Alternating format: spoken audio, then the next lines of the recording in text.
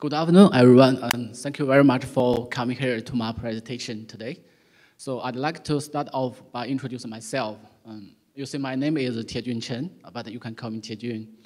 I'm from VMware China R&D ATC, Advanced Technology Center.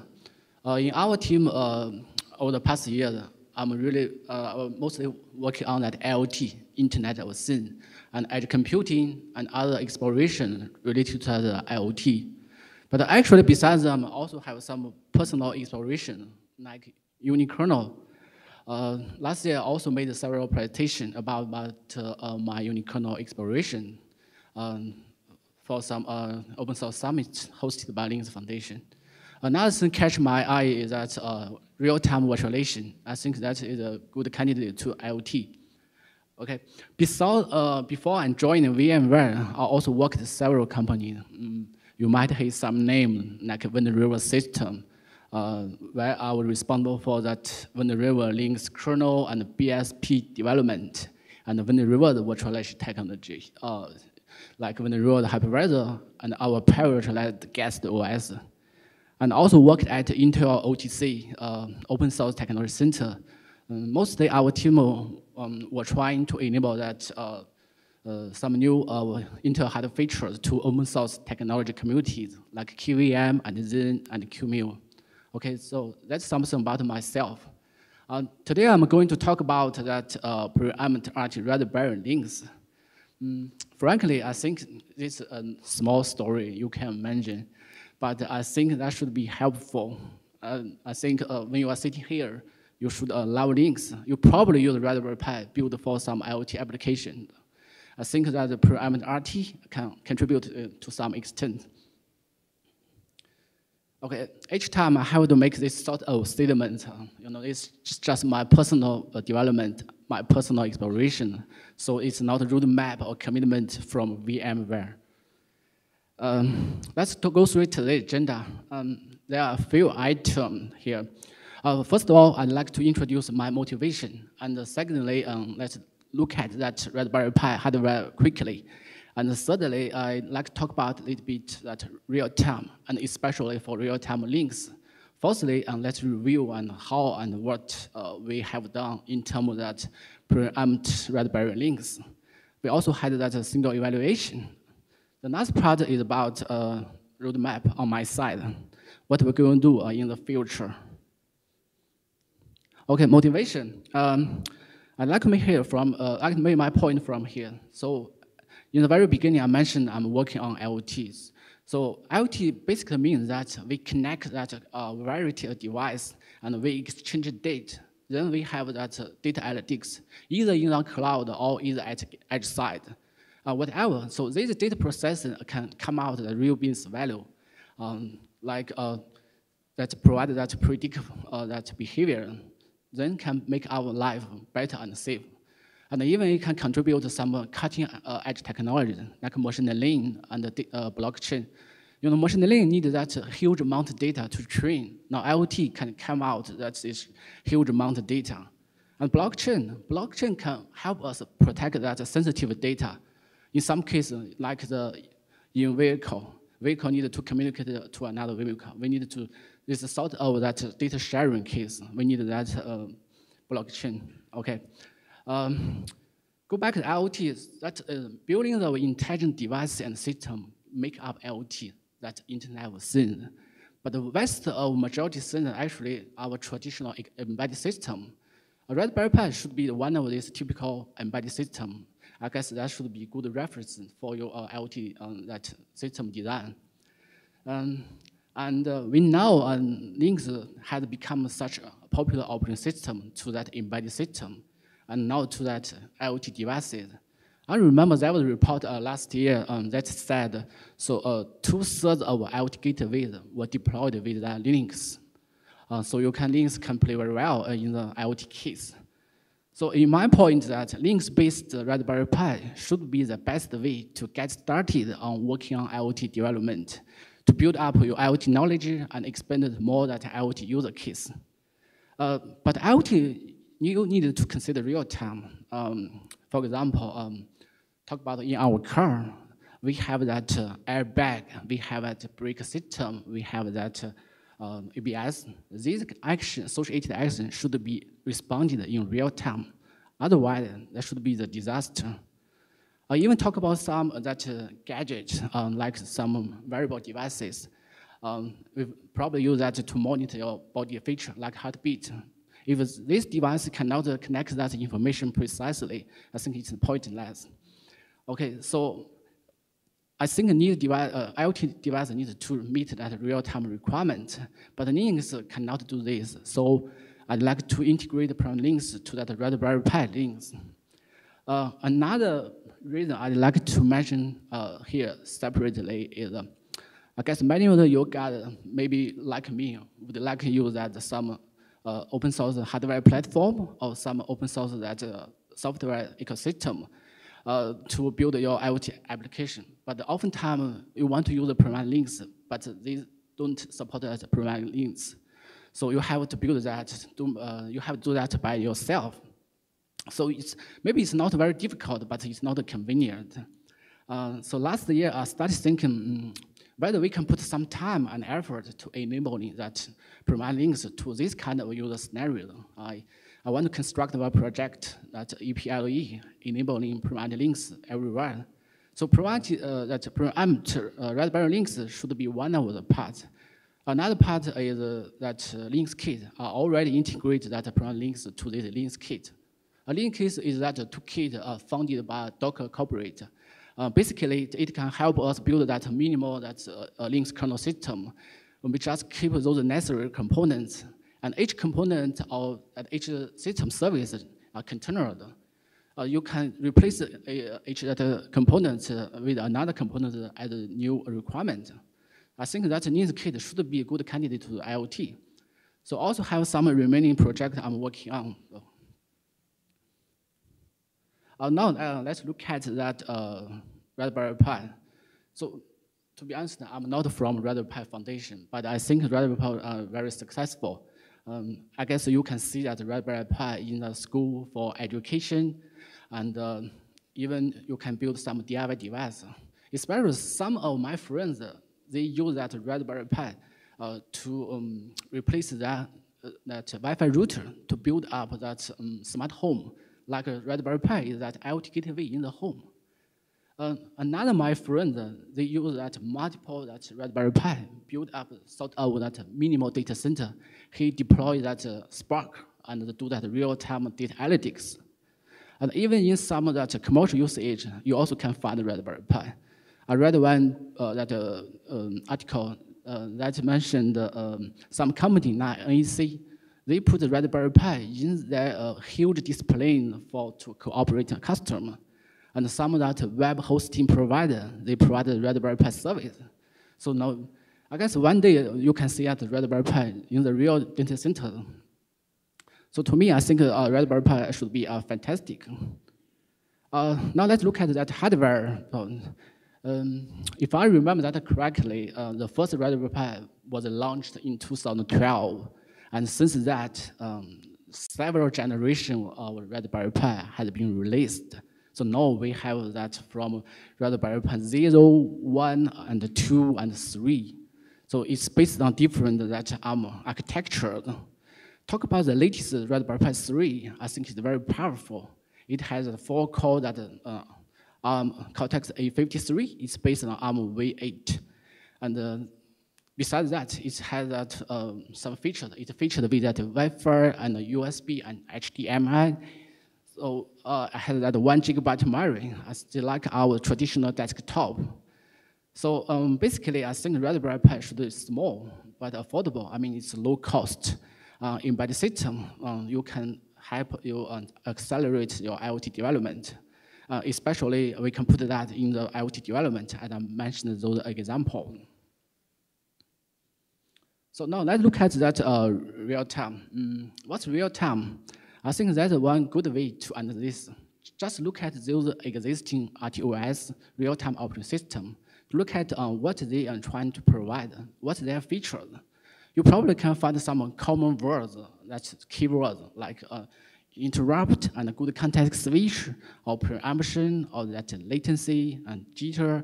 I mean the variation. And also maybe they said faster. And I'd like to point out here that um, when people talk about real-time system, there are some common misconceptions. The big one is that um, they think if we're reacting in uh, milliseconds or less, that can make operating system real-time. But if you uh, take time like a minutes or uh, several minutes, that cannot make a real uh, make operating system real-time. But that's not true. I think the real-time system should that this system can reliably take that um, same amount of time, um, each time do the same thing. Uh, so uh, in terms of this point, uh, Linux uh, is just uh, close to that soft real-time, um, a soft, hard, uh, soft real-time operating system. So it's it, because it's now designed as that RTOS. But we need it. So a couple years ago, we have this preemptive Linux. Actually, it's that set of kernel patch. Basically, it can help us convert that many Linux to that fully preempted kernel um, by 100%, um, it's not 100%, it's close to 100%. Um, what we did, like this thread IRQ, um, basically, you know, uh, they can put the interrupt handler into that kernel thread context switch. That thread can be scheduled. And they also um, trying to get a critical section preempted. So what I would, so what they did, um, they are trying to get that mainline Linux to have that quicker reaction time and help us bring down that latency to the minimum as very possible. It's like that hard time, uh, hard real-time extension to our Linux. Uh, so um, compare the prime Linux to that mainline Linux, um, uh, what has changed? I think uh, uh, after we had that uh, prime Linux, some features like that HRT high resolution timer and the interrupt thread and the mutex, they actually had already been merged into that mainline Linux. But there's still gap, big gap between that uh, programmatic Linux and mainline Linux. Uh, there are two parts. Actually. The first, uh, you know, programmatic means uh, programmatic Linux mean it can cause more that risk condition. So it can cause some uh, problem uh, that you never met in the traditional uh, mainline Linux you we have to fix this bug to make sure parent Linux stable. It's one of part. Another part I think that should be big one, that conversion. So uh, Linux is aimed at converting that uh, to get that mainline Linux preempt, get that critical section preempted. That means uh, you have to uh, address that uh, spin lock issue. Your spin lock cannot be sleepable. Now we need to convert that to be sleepable. So we need this conversion, conversion that the traditional spin lock to that sleeping lock. They still outside that mainline Linux. Also, um, let's look at that Raspberry Pi Linux.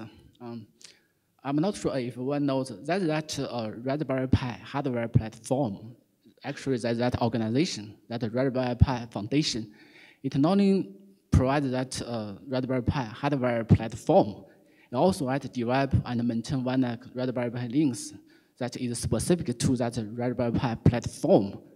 It has such a, its own that community and has a forum. That source code I think you can get from this link is one of the GitHub, uh, GitHub project. So um, besides that uh, sort of a native Linux code, um, you can find some Linux distribution. Uh, Linux uh, Raspberry Pi Foundation um, provides that uh, Raspbian is based on that Debian that uh, Linux distribution specific to Raspberry Pi. Besides that, you also can find some existing uh, sort of third-party Linux distributions specific to that uh, Raspberry Pi. You can find Ubuntu and Windows IoT Core. You can find that Gentoo and OpenSUSE but anyway, so this Linux code or this Linux code or this Linux distribution, they don't provide that priority, that feature. So again, if you want to use the prime Linux, you have to grab that RT patch. You have to apply that on your source code. You have to try to build that and make and fix some issue to make that work. So it's not very convenient.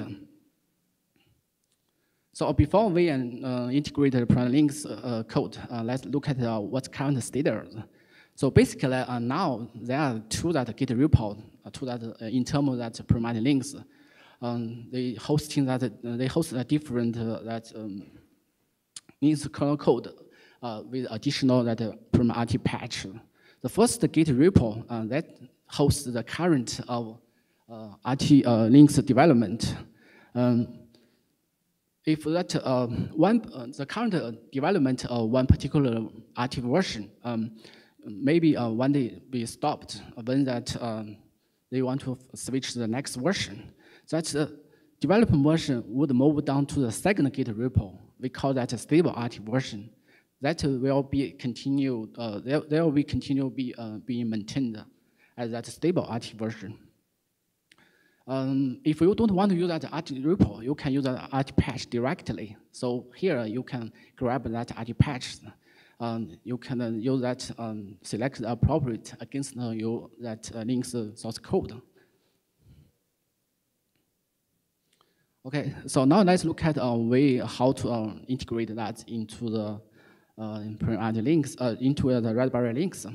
So when I try to do this, I have some discussion with that one of permanent Linux, uh, when one of that uh, permanent uh, Raspberry Pi Linux maintainer failing. We had some discussion because I have made sure we are the same page table, uh, make sure uh, this can be pushed into that official branch.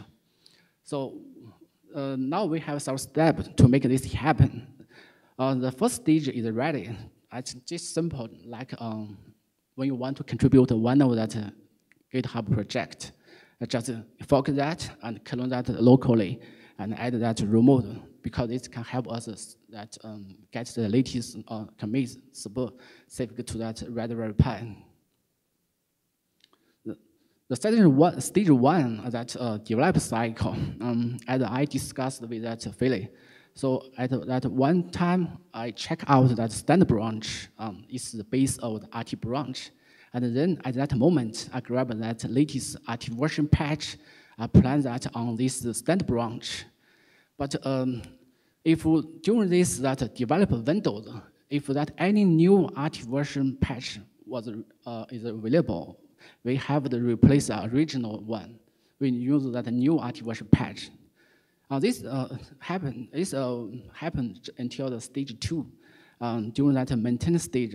So that means standard branch is uh, released, is frozen. So standard branch um, we don't release again. So we have to follow this uh, uh, same policy in terms of that RT branch. So the big thing is that we don't replace that original that RT version. Instead, we have to figure out that div, that delta file. We apply the delta file onto that uh, standard uh, RT branch. And uh, sometimes we have need to uh, merge that um, standard branch to make sure RT branch have that new feature support or new that uh, commits to that Raspberry Pi.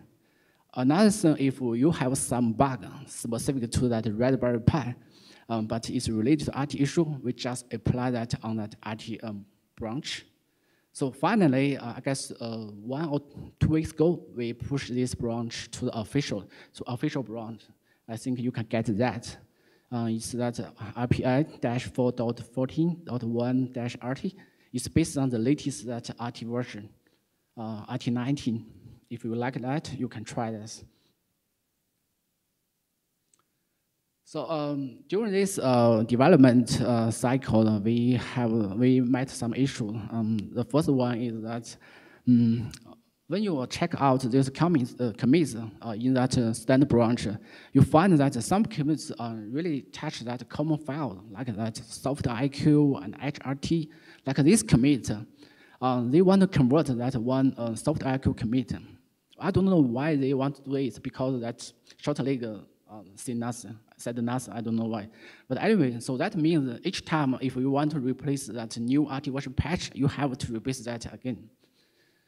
Um, but uh, um, fortunately, it's not very difficult.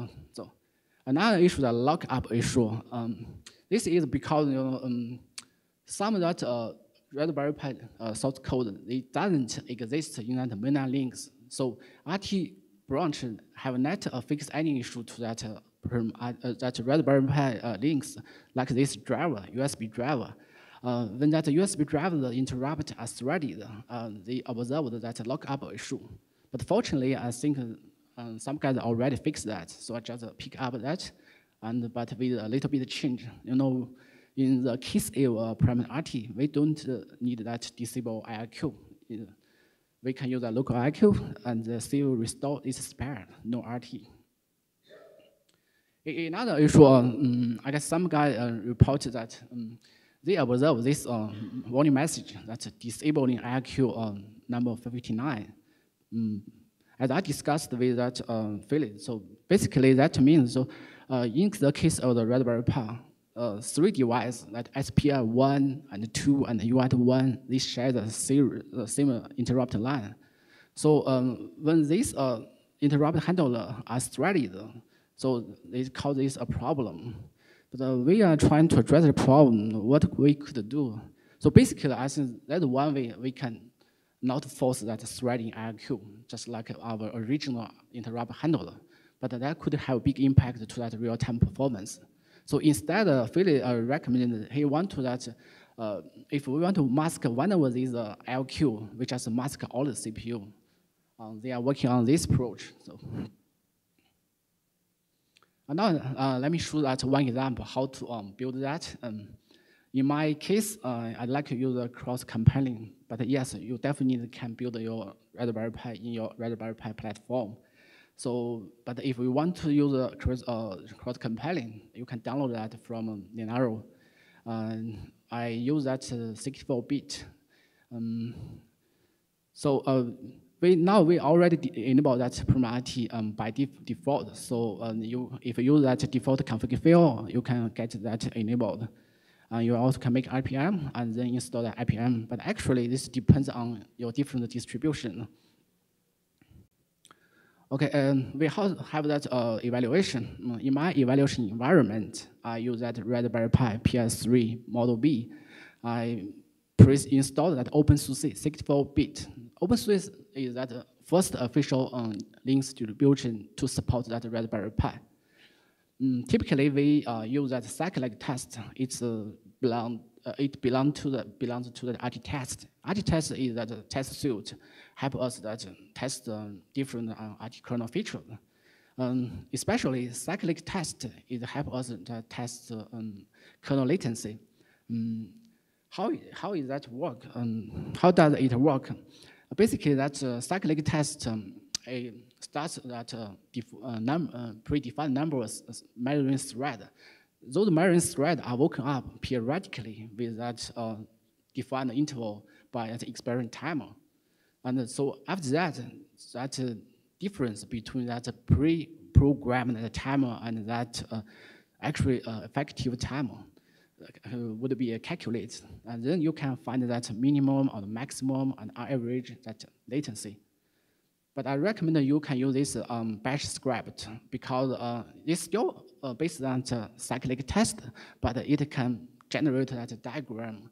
Uh, it, it's convenient to see that data. So um, I tested the three different situations. Uh, the first one, I, I didn't enable anything. It's like the typical that um, key configuration in terms of that um, desktop.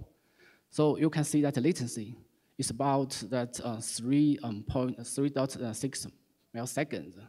Um, when we put that latency in the, uh, context, in the context of a desktop, it's not a big deal, but it's not good in the case of IoT. So uh, next, I enable and prevent. Um, this can configure help us reduce that uh, from the two perspectives. Uh, first one, it uh, adds that uh, more that preemption points explicitly. And also, it, if your code, they are not executing in that critical section, um, they can get this code to be a preempt, like that low priority task. When it comes to that uh, when it comes to return from syscall, the, this low priority task would be uh, scheduled out that high priority task can be can run. Now you can that latency is down to that 2.6 millisecond. A millisecond is uh, they reduce a little bit. The last case uh, we enabled the Perm RT um, is our um, complete that problematic kernel. Um, it, uh, it further reduces that kernel latency by replacing that spin lock to that um, sleep log. And then we can all, but not all, make sure a kernel can be preempted. Because some low-level code, you still cannot be preempted. You can see that uh, latency is uh, about uh, 151, 151 milliseconds. So um, based on our test result, you can see that uh, Pragmatic Raspberry Linux really can work. It helps us reduce the latency from that 3.6 milliseconds to that 151 milliseconds. But um, here are some tips or some issues. So some guys reported that they observed that um, they observed that some of the accuracy thread spikes on CPU to some certain percentage. Like here, you can see that uh, some USB uh, thread spike CPU about 25%. Um, but I think there's not a problem in the PermaIT, uh, in the Raspberry platform, because I found even I don't enable that uh, PermaIT, you can find there are a lot of interrupt that is triggered in the uh, Raspberry Pi. So I think this uh, too much interrupt would have that um, too much thread because this thread has the uh, had to be handled again and again. But it, I want to say here it's really another argument between that um, IO throughput and the context switch in terms of private Linux. So um, private Linux want to get that all good uh, get that good context switch. That means interrupt handled cannot be handled immediately sometimes that could have big impact to that our throughput. So how to balance that? Well, typically, I think we have this way. So I recommend that you can isolate one CPU, and then you can dedicate that uh, interrupt to this CPU. Uh, like here, I just pass that kind of parameter, like as CPU equivalent to the three. That means the physical CPU of three is isolated from that Linux schedule domain. And then I dedicate IRQ to that the physical CPU three. And like this, you can you can see that. So now let's run that in a cyclic test. You can see that latency is down to that 150 that millisecond. It's reduced about that 30 millisecond. Oh, so uh, okay, let's go to our last part, roadmap. So this branch, official branch just be created the last two weeks ago, so we have more work to do. We need to test that more platform, and uh, we have to run more tests here as need to run some sort of a sanity test, LPTV, LM bench, and POSIX to make sure that our IT branch is stable. And uh, again, we need to that support IRQ affinity. So, so far that Raspberry Linux doesn't support that uh, affinity, but this is a good feature to that if you have, want to get that good uh, IO performance in terms of the preventing Linux. Another thing about virtualization, you know, Raspberry Pi 3 is based on is based on a v, uh, ARM v8. It has that virtualization extension. So you can that deploy the hypervisor. You can run that multiple guest OS. Um, so this is really another my interest, that's real-time virtualization. I think this is a good case to that IoT because virtualization can help us address some challenges in the case of IoT, like isolation and that security issue and that consolidation. Uh, another I trying to do, I'm trying to do in the future is at Unix. Uh, this is another exploration about unikernel. Um, I'm not sure I've got have heard of the unikernel. So unikernel uh, is that specialized single address kernel image, machine image constructed by the using label, uh, label OS, single address page label OS. So most time it just can run one process. Um, but uh, we have a lot of existing uh, unikernel, but that doesn't uh, succeed. So why these existing unikernel have yet get large popularity? I think they are facing some challenges. So in my unikernel exploration, I try to convert Linux to that unikernel, like unikernel Linux to address this problem. Um, I have that uh, simple POC, but it's over the x86. I want to bring this to that ARM. Um, it's my presentation. It's just a small story. So if you have a question,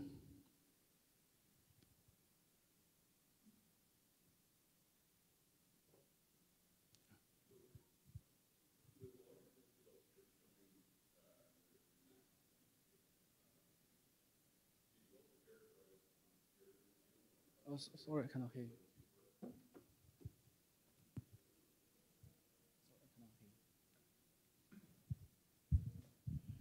For a lot of your test results, you were showing, you were showing the maximum latency that you were getting, and it was quite a dramatic drop, but um, did you also characterize the, the latency jitter or, you know, how, how, how often you were getting that, say, 114?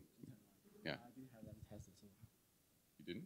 uh, you mean that's jitter, right? Yes, Oh, I didn't have that test results. okay.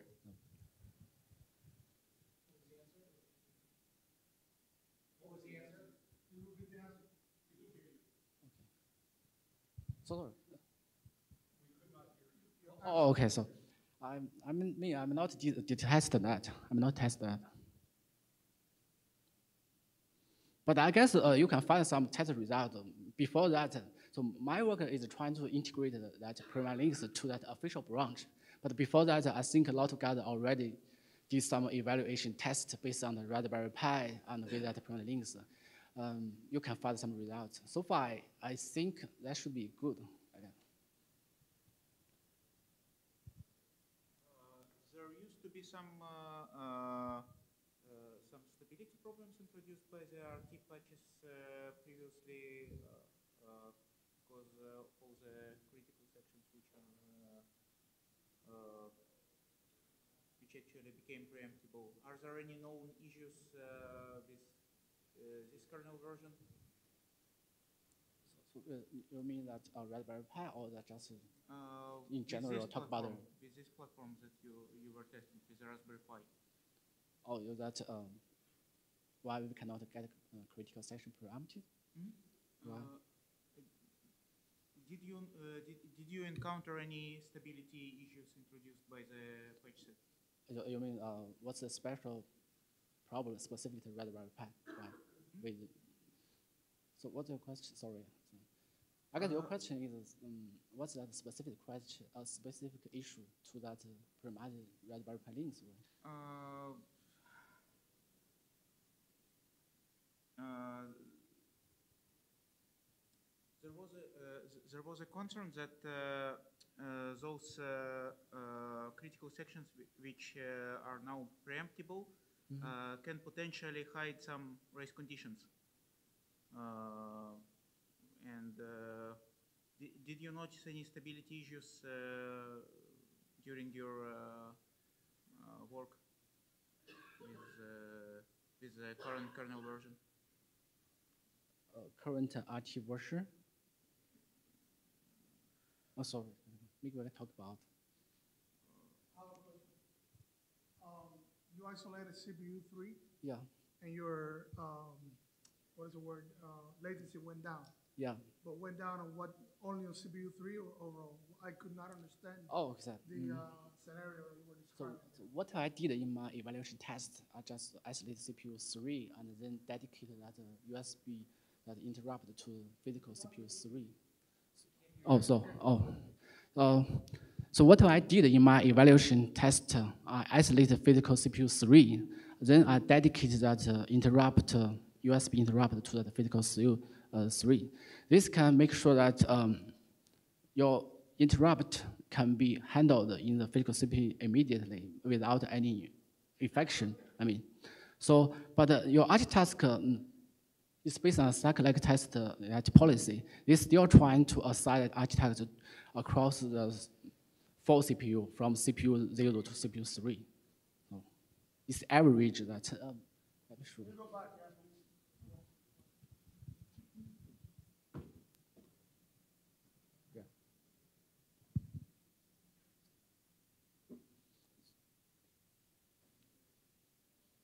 So it doesn't mean that the physical CPU three has that minimal that uh, latency.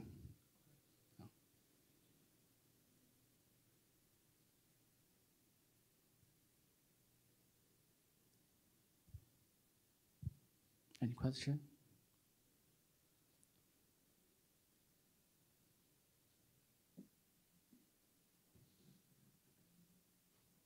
So, so if there are no further questions, uh, thank you, uh, guys. All right.